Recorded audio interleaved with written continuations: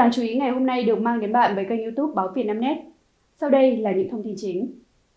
Bắt khẩn cấp thanh niên đâm vào xe cảnh sát giao thông ở Bắc Giang. Ngày 7 tháng 3, Công an huyện Hiệp Hòa Bắc Giang cho biết đã bắt giữ người trong trường hợp khẩn cấp đối với Trần Quang Huy, sinh năm 2005, trú tại tổ dân phố Đông Trong Đầm, thị trấn Bắc Lý, huyện Hiệp Hòa để điều tra về hành vi chống người thi hành công vụ.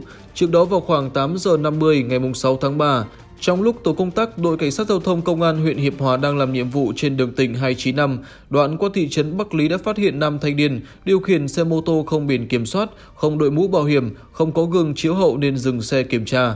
Tuy nhiên thay vì chấp hành hiệu lệnh dừng xe, đối tượng đã tăng ga bỏ chạy đâm thẳng vào tổ công tác.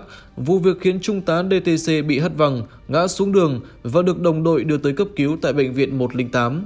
Ngay sau đó, tổ công tác đã khống chế đối tượng, bàn giao cho cơ quan cảnh sát điều tra công an huyện Hiệp Hòa xử lý theo quy định. Tại cơ quan công an, đối tượng được làm rõ là Trần Quang Huy, sinh năm 2005, trú tại tổ dân phố Đông Trong Đầm, thị trấn Bắc Lý, Hiệp Hòa, Bắc Giang.